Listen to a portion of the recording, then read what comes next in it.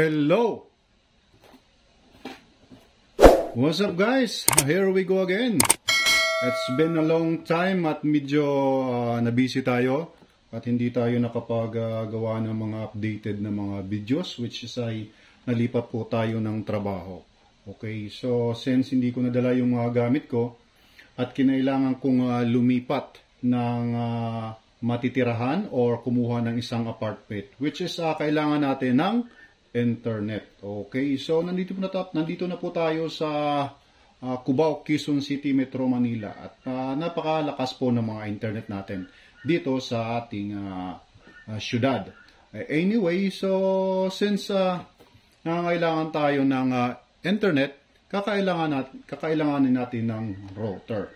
Okay, so dito sa apartment ko ay uh, meron ng existing na internet na ginagamit ang aking uh, pinsan Uh, ang gagawin na lang natin ay makikipag-connect na lang ako sa kanyang internet and then maghahati na lang kami sa rent ng uh, monthly bills. Okay, so para ma makuha ko yung internet niya, kakailangan natin ng uh, external router which in, in which ang aking uh, pinsan ay nasa 6th floor and then ako naman ay nasa 5th floor. So, much better, maglalagay tayo ng uh, external internet, external router, and then UTP cable or pwede tayong gumamit ng fiber uh, cable papunta sa ating uh, uh, unit. And ngunit, uh, hindi naman masyadong malayo yung ating uh, uh, unit sa aking pinsan sa 6th floor at meron siyang madadaan ng uh, uh, stairways kung saan doon natin padadaanin yung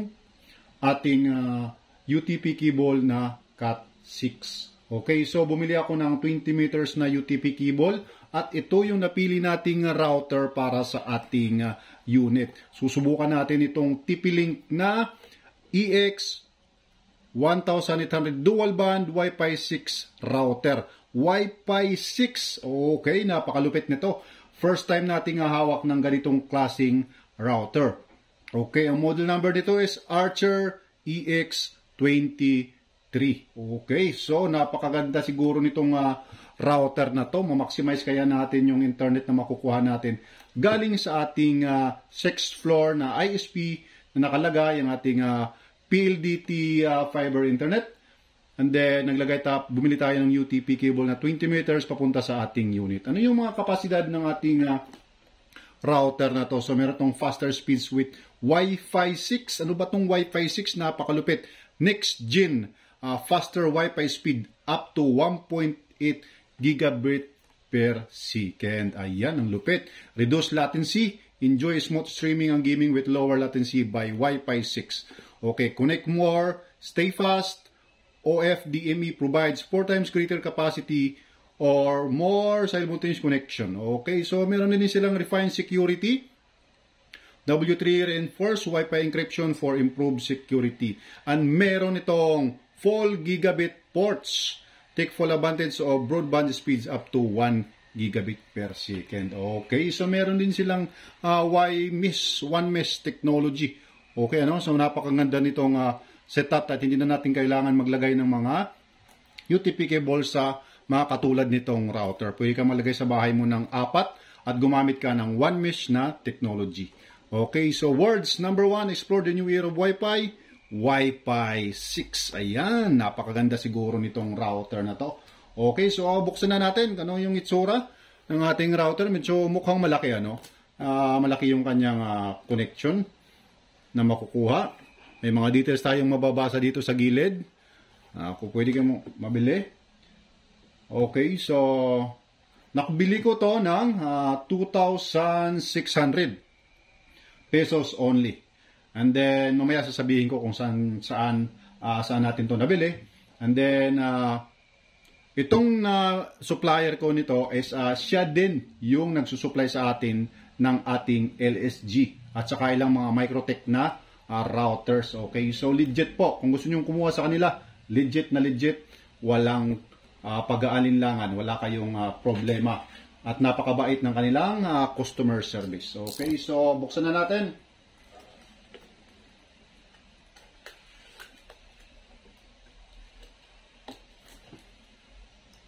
Okay? So, meron siyang plastic. Kahit dito lang yung punitin natin sa gilid, punitin natin ang gilid. And then buksan na natin. Pwede din dito sa kabila. Okay?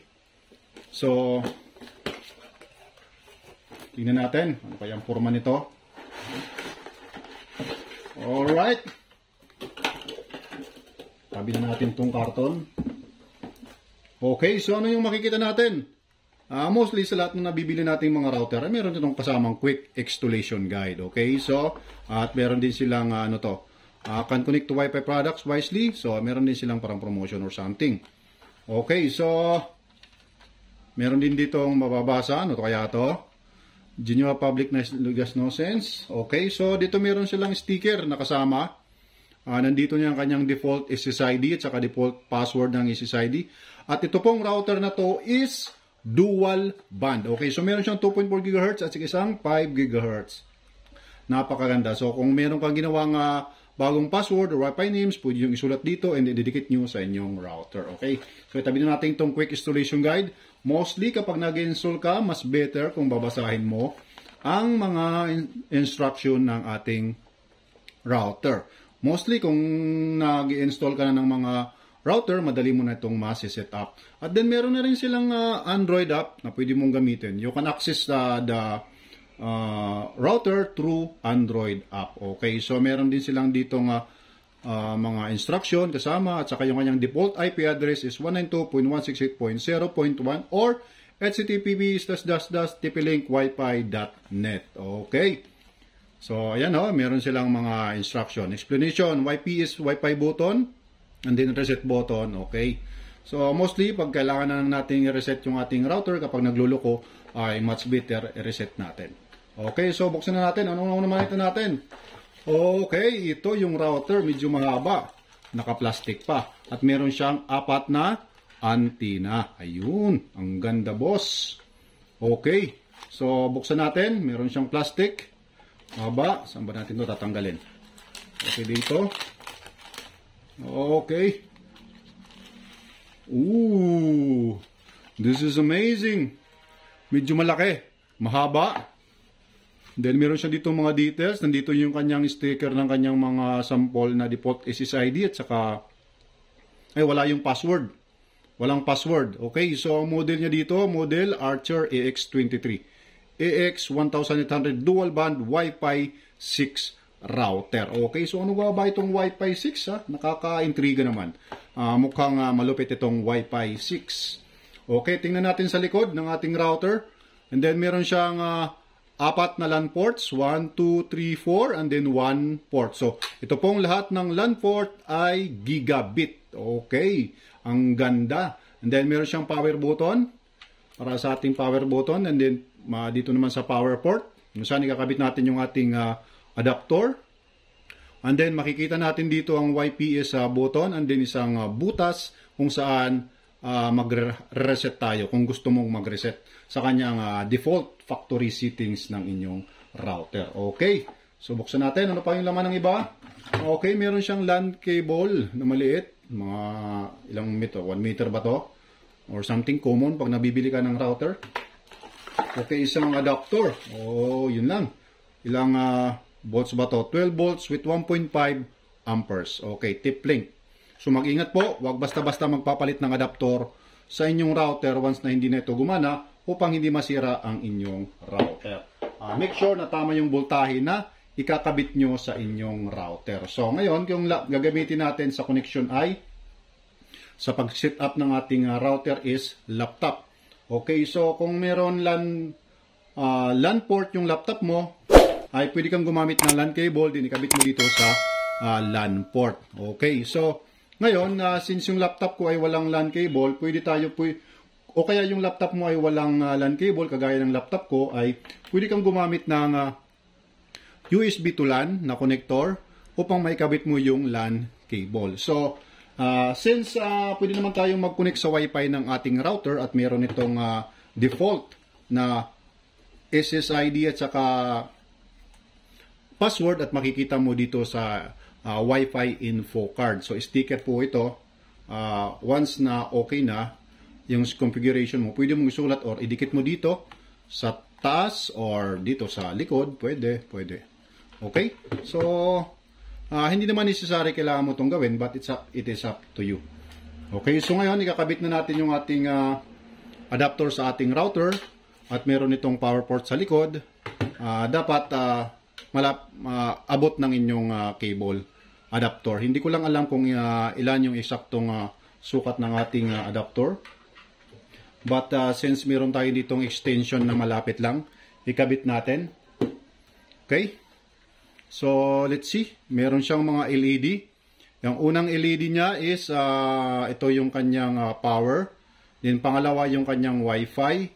Uh, pangatlo, pangatlo signal yata to. 5G yata to. Dalawa eh. Isang 2.4 saka isang 5. And then, meron tayong internet. And then, LAN. And then, key. Okay, so power boat, power on natin. As you can see, hindi siya umilaw sapagkat meron po siya ditong switch sa likod. Okay, power on natin. Yun, magbiblink po lahat ng ilaw ng ating router. Okay, so kung connected po sa internet, iilaw po dito sa pang apat na uh, port. Okay, so check na natin sa ating uh, uh, laptop kung anong magiging uh, itsura or paano tayo makakakonect. Check muna natin yung wifi. Uh, titingnan natin kung activated na kanyang wifi habang nagbiblink pa dito sa ating router. Ibig sabihin, nagsiset up pa siya. Antayin natin uh, na lumabas na dito sa ating wifi yung kanyang SSID na TP-Link BF underscores 8FF3. Okay, so nakita na natin dito yung isa. Dapat dalawa to. Makikita natin isang uh, 5 GHz or 2.5 GHz. Okay, so connect tayo. Okay, so hindi pa tayo naglagay ng password. Cancel natin. Naka-open. Ayan, lumabas na yung TP-Link na 2.4 GHz at saka isang 5.6 GHz. So, forget muna natin. Forget. Baka hindi tayo makapasok. At unless kung nakasid na. So, magkukunik tayo sa 5 GHz. Same din yung password natin sa isang 2.1 GHz sa isang 5 GHz. So since malapit lang yung ating uh, laptop sa ating router, ay magkukunik tayo sa 5G. Connect. Then meron siya dito ng uh, default ay uh, default password sa ating sticker. Connect natin. 7399. Okay, check natin. Kung tama yung na-input natin, 85017399. Next. Yun, Wi-Fi. Okay ah. Once again, pwede kayong gumamit ng uh, LAN cable pagpunta sa inyong desktop or laptop. Kung wala kayong uh, LAN port sa inyong laptop, gumamit kayo ng USB to LAN cable. Okay?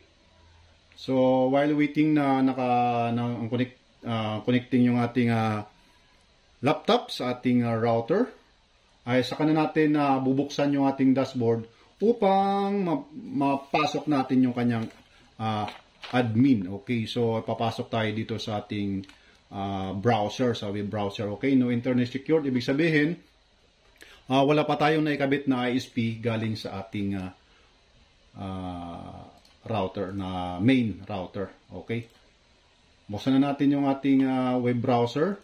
Type natin 192.168.0. 68.0.1 or pwede kang gumamit is ttp tplink natin. Okay, so ito yung ating first na, na makikita sa ating uh, browser ng ating uh, router na EX uh, ano ba to? Nakalimutan ko. EX23. Okay, so dito, pwede ka na maglagay ng uh, sarili mong password. Okay, uh, must contain no spaces, uh, must be 6 to 33 characters long, must contain at least two types of following characters, letters, numbers, and symbols. Okay, so maglalagay tayo. Natin temporary na password natin artboxtech underscores 22 tingnan natin artboxtech underscores 22. Okay, yo. So, nasa inyo na kung anong gusto nyong uh, gamitin na password. Or, ito, pang ano lang natin to. For demonstration purposes. Anyway, pwede mo itong palitan uh, once mas makonfigure mo na ang inyong router. Anytime. Nasa settings po ng ating router. Okay. So ngayon, magre-login tayo gamit na natin gamit na ang ating uh, ginawang password kanina.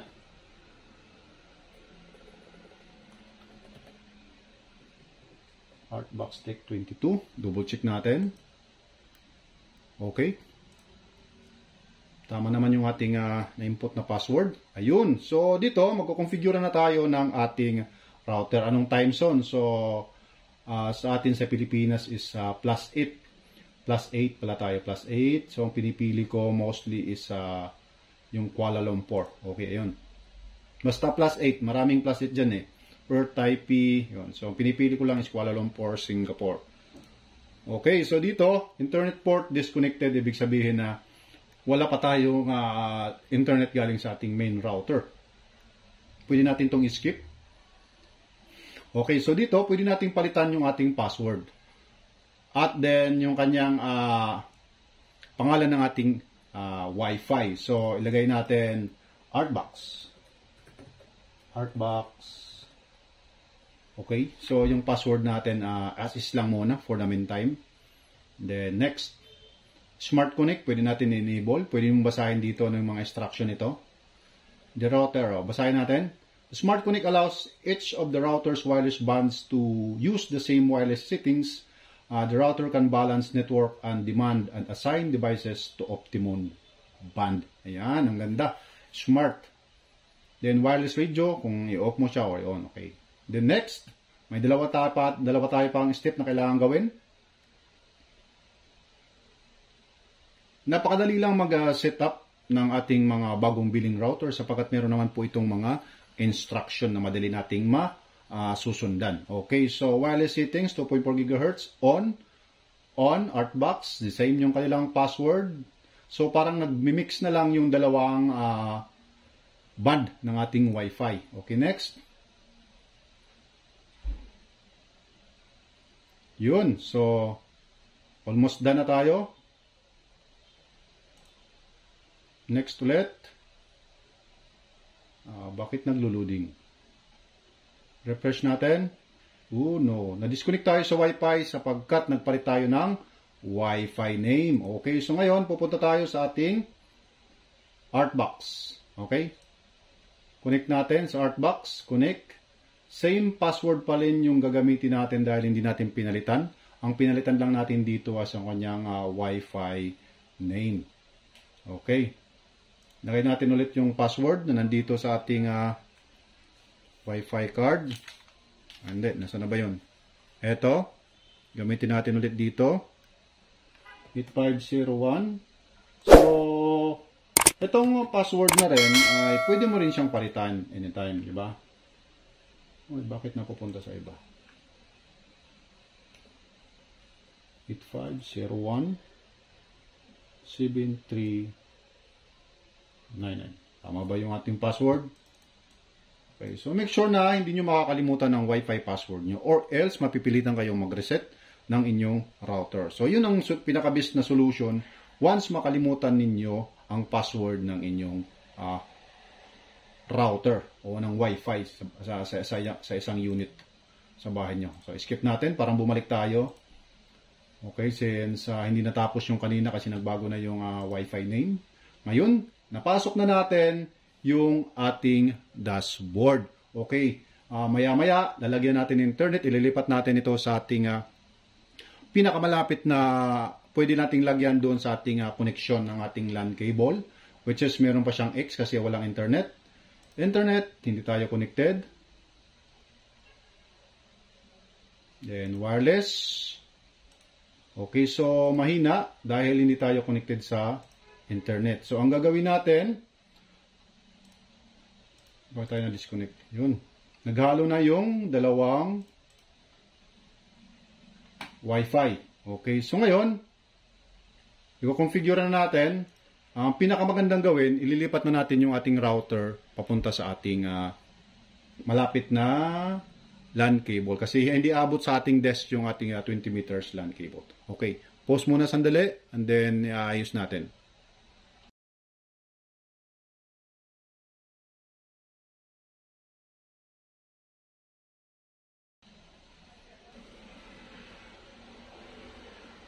Okay, so check natin kung may connected na tayo sa ating wifi, kung may internet na. Connected, secured. Then kailangan refresh natin, kailangan natin nating mag-login ulit.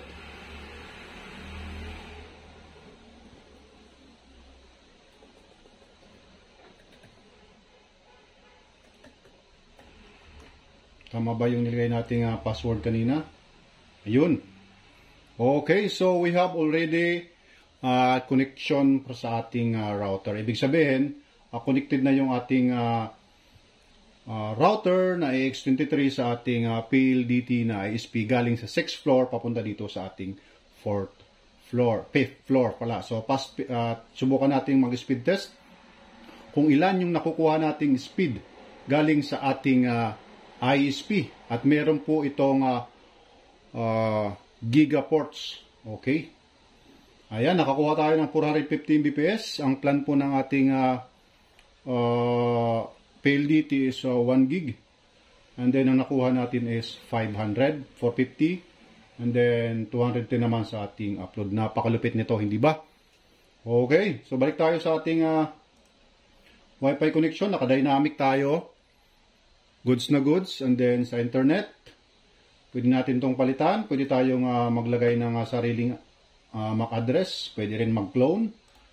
Sa Wi-Fi natin, dito tayo pwedeng magpalit ng uh, uh, Wi-Fi name, magpalit ng password, uh, at iba pa. Pwede ka rin gumawa ng guest network kung meron kang mga bisita, ayaw mong uh, ma-maximize uh, yung uh, SSID mo dito, gumawa ka ng guest network para sa mga bisita mo. Or uh, sa malapit na unit ng uh, kwarto mo sa isang apartment. Okay? So, dito naman tayo sa advanced. Makikita natin kung uh, IP address tayo connected. Connected tayo sa 192.168.1.1, yung default gateway ng PLDT. Uh, check natin kung kaya nating ma-access yung ating uh, default uh, gateway galing sa ating IP address. 192.168.13 na nakukuha ng ating router galing sa ating default na gateway. Uh, secondary DNS, naka-disable pa, wala pa tayo nailagay. Then, internet, dynamic, same pa rin marami kang makikita mga connection dito. Okay? So, wireless, not forwarding, pwede ka dito mag-port forwarding para sa mga gaming, sa parental controls, para sa mga anak natin, mga underage pa. At meron din siyang QoS, okay? So, para ma-minimize natin yung ating bandwidth or ma-manage natin. Pero hindi siya masyadong uh, maraming uh, configuration na pwede mo magawa dito. Uh, hindi katulad ng Microtech. Okay, sa security, meron firewall, IP banding, LG, okay? So, not most of this, uh, kung gagamitin mo lang naman sa uh, home network mo, personal use lang, lalong-lalo na sa katulad ko na sa kwarto lang, ay uh, hindi mo naman kailangan ng maraming mga uh, configuration. Mostly 4.5 Wi-Fi. Okay, sa system naman, mas maganda kapag bumili ka, ay mag-check ka lagi ng update. Okay? Mag-update ka, o kung walang nakalagay dito na firmware is up to date, uh, may nakalagay na update is available, check nyo po yung update. O, so, since uh, updated po yung ating firmware, hindi na ako kailangan mag-update dito. So, ang hardware version na is Archer X23 version 1.20. Okay, yung firmware version build niya is 1.0.5. Okay. So, backup and restore. Pwede kang gumawa ng backup. Then, pwede kang mag-restore. Galing, uh, yung ginawa mong backup, pwede mo siyang restore. Browse mo. Then, gusto mo siyang i-reset uh, for uh, lahat ng mga configuration uh, without your login and cloud account information, dito ka. Ngayon, kung gusto mo siyang i-secure, papunta sa factory settings or factory store, kagaya ng uh, hard set button sa likod ng iyong router, ay pwede nyo po itong gawin. Okay. So, saan ba natin nabili ang router na to? At napakaganda at napakabait po ng kanilang uh, uh, pwede po tayong mag-search. Uh, ang pangalan po ng kanilang uh, uh, Business IT Warehouse Enterprise. Okay, so IT Warehouse Enterprise. Ayan, so nandito lang po sila sa Cubao, Quezon City. Okay, so check natin sa address nila. IT Warehouse. Okay. So, marami pa. Tama ba to? Okay, Sims. Ito nga. Oo, ito nga. So nabili ko to ng uh, ah, 2,600 kasama na yung uh, router. Uh, uh, UTP cable. Then meron din silang Facebook. Ayan no, IT Warehouse Enterprise Facebook Quezon City. Click nyo na lang. And then ito po yung kanilang address. Uh, tingnan natin. Ayan, IT Warehouse. Ayan yung, ba, ayan yung unit nila. Nasa. Rodriguez lang po yung kanilang uh, uh, store. Okay, so para to make sure na ipakita ko sa inyo na legit yung kanilang store, pwede nyo siyang i-chat sa online. Nandito po yung uh, uh, kanilang uh, ORCR sa Inwest, sa Cloud Store, IT Warasan Plus. Uh, address po nila ay Red Gold Building, Rodriguez Avenue, Cubao, Quezon City. So nabili po natin yung AX23 is uh, 2,600 at ang kanilang uh, uh, UTP cable na 20 meters is 255. Pre-made po siya. So, sa mga gustong bumili, uh, pwede kayong bumili sa kanila sa Facebook. Uh, uh, disclaimer lang po, uh, this uh, content na to is, uh, is not uh, sponsored by IT Warriors Enterprise o ng TP-Link. Uh, I just wanna share you kasi marami tayong uh, mga scammer na mga seller, lalong-lalo na sa Shopee, sa Lazada, sa Facebook, at sa kung saan-saan pang mga online store. Uh, nagiging marami pong nabibiktima. So, nabili po natin ng brand new ang ating uh, uh, router. Unsealed po siya. Plastic, nakabalot pa. Wala po siyang, hindi po siya tampered. Uh, ibig sabihin, brand new na brand new po yung ating uh, nabiling router. Okay, so last time na gagawin natin, speed test ulit tayo kung consistent, consistent ba yung nakukuha nating uh, 400 Mbps sa ating uh, uh, galing sa ating PLDT ISP main router papunta sa ating unit from 6th floor to 5th floor at gumamit tayo ng 20, 20 meters uh, Cat6 UTP cable. So, mas magiging mabilis pa yata to kung gagamit tayo ng FOC or fiber uh, optic cable. Uh, de, pwede kang gumamit ng uh, media converter upang malipat mo ang inyong internet. Mas mabilis yung makukuha natin. It is possible na makuha natin yung 1 gig galing sa ating uh, main router. Okay, so yun lang po, maraming maraming salamat sa mga nanood at sa mga nag-subscribe sa ating uh, YouTube channel at patuloy na tumatangkilik dito sa ating uh, channel. Okay, maraming maraming salamat at meron na po tayong 3.48 uh, subscribers. Maraming maraming salamat sa inyong lahat sa, sa pagsuporta at patuloy na sumusuporta. Uh, ma, ma, para lang po sa mga beginners yung ating channel And then sa mga gustong matuto, pwede po kayong manood at pwede nyo pong i-share sa mga kaibigan nyo yung ating channel. Maraming maraming salamat po ulit sa mga nanood at sa mga manunood at sa mga subscribers na patuloy na matangkilik. Maraming maraming salamat po. Sana po ay uh, magpatuloy po kayong tumangkilik dito sa ating channel and then uh, maging maganda yung ating internet connectivity sa ating mga bahay o negosyo. Maraming salamat po ulit. Godspeed.